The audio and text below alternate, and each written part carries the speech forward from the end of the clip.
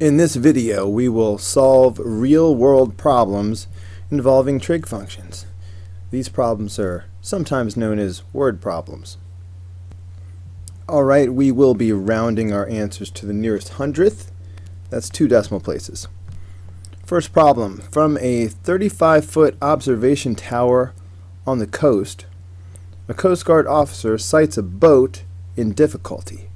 The angle of depression is 4 degrees how far from the boat how far is the boat from the shoreline?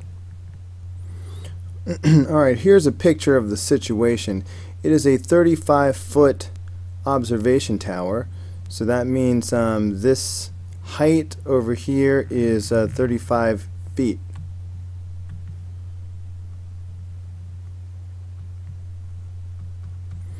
Okay um, the angle of depression of the boat is 4 degrees. Now, um, angle depre of depression and angle of elevation are always the same. Understand that um, when they talk about angle of depression, that's um, someone looking from a height and looking down. So the angle of depression of 4 degrees would be right here. Now, if you were looking from the perspective of the boat, looking up at the tower, um, from your perspective, it would be an angle of elevation. And um, it would be the exact same angle of 4 degrees, but it would be right here. So um, it really doesn't matter which one of these we're talking about, the angle of depression or the angle of elevation. So you can really use whichever one you want. Um, at any rate, so uh, we have this 35 degree height and this 4 degree angle. So um, I'm going to go ahead and use this triangle. And um, so we want to find out how far the boat is from the shoreline. So I guess this is the shore over here where the um, observation tower sits. So there, I added the shoreline in the picture. Yes, they did say that the observation tower was on the coast. So there we go, there's the coastline. Um, so that distance would be like this right here, this x. Okay, alright. So, um, opposite over adjacent, this is all about the tangent function, my friends. So, um, I'm looking at this and I'm thinking tangent of 4 degrees should equal opposite over adjacent. So 35 over x. And uh, if I want to solve this for x, the easiest thing to do is to use the shortcut. We can reverse the um, denominator with the thing that's out here by itself. So that's going to give us x is equal to 35 over the tangent of 4 degrees. So this we can just put in our calculator. 35 over tangent 4.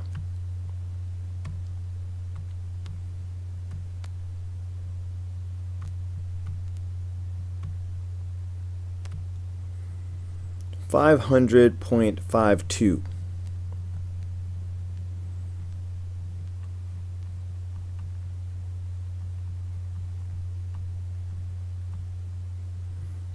feet. Alright, that's how the far the boat is from the shoreline. Alright, let's look at another example. You are standing 100 feet from the base of a platform from which people are bungee jumping. Alright, they're jumping off, holding giant rubber bands, and dangling. Anyway, um, the angle of elevation from your position to the top of the platform from which they jump is 53 degrees. From what height are the people jumping? So let's draw a picture. Alright, so here's a picture of the situation. Um, so uh, 53 degrees is the angle of elevation from the your perspective where you are standing. So that means this angle down here is your 53 degrees. It says you're standing 100 feet from the base of the platform. So um, the 100 feet is this distance down here. 100 feet, you know, from roughly from here to here.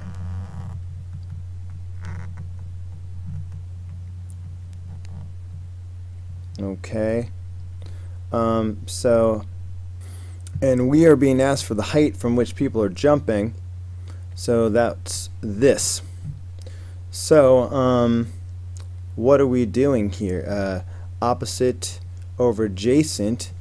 This looks like a job for tangent function.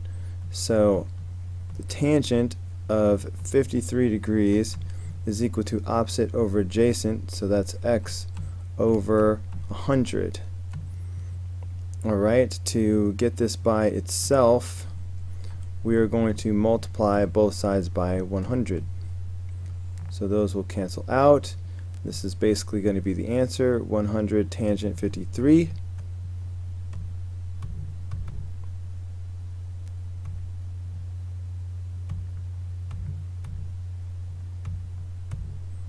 Okay, that is 132.70.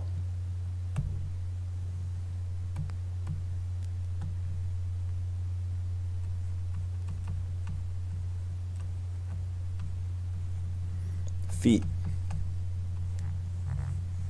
Alright, is that the number that I said?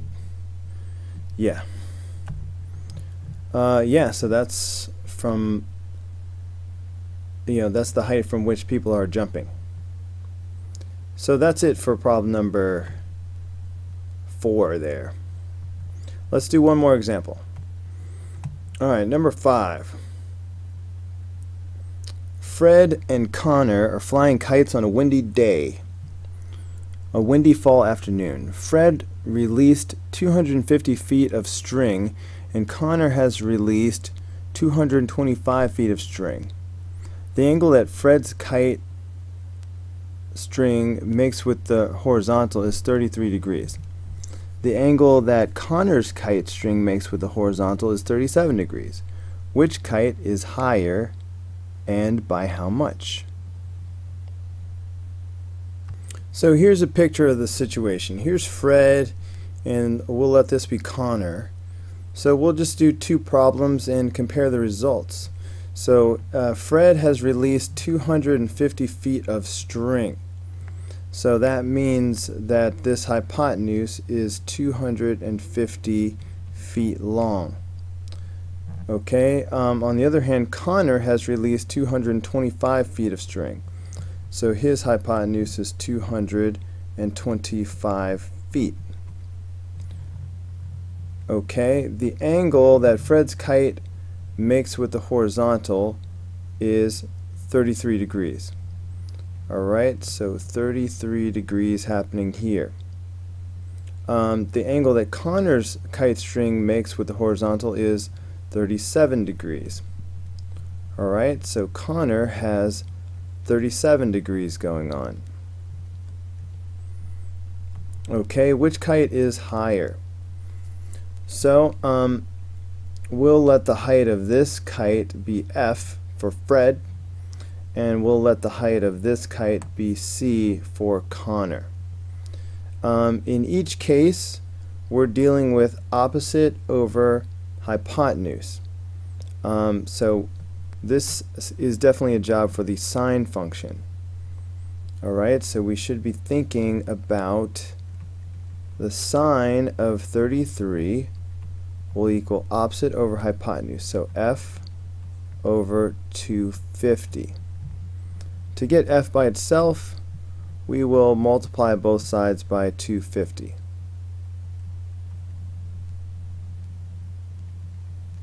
Alright, that way these 250s will cancel out. And that's going to give us um, the height f of Fred's kite. So 250 sine 33.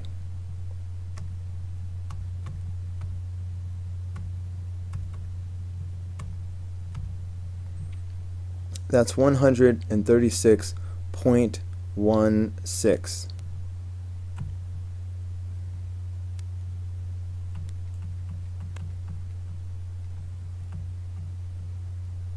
feet.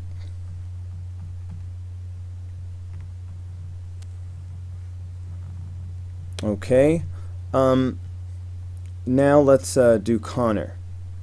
So same situation.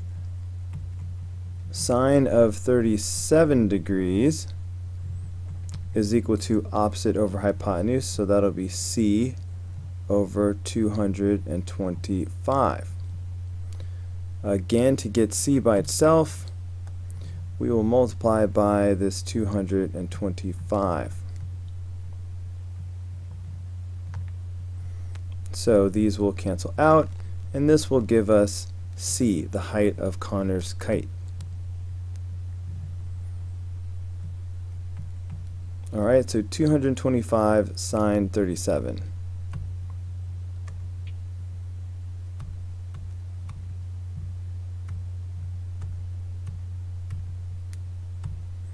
So that's 135.41.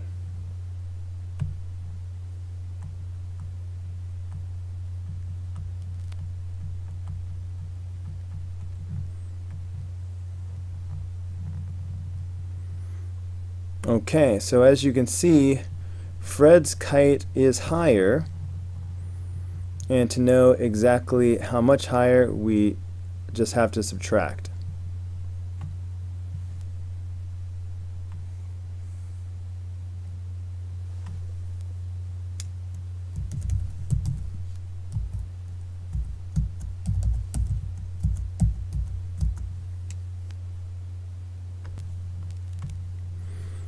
Point seven five feet. So there you go. Fred's kite is 0.75 feet higher than Connor's kite. Here endeth the lesson.